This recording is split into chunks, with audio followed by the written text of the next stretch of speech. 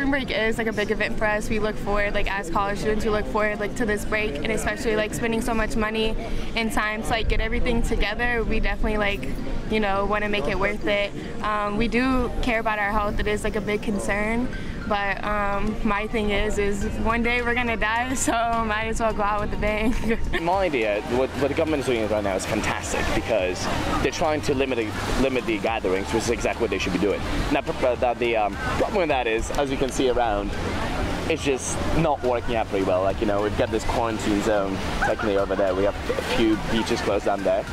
But that just pushes all of us closer together.